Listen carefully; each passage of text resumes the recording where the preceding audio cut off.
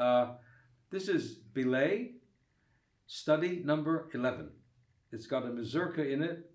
Uh, I used to practice this, of course, many, many, many years ago, and I haven't seen it for a while, but but we'll see. I, I enjoyed play, trying to play this one. You get your fingers all in a twist.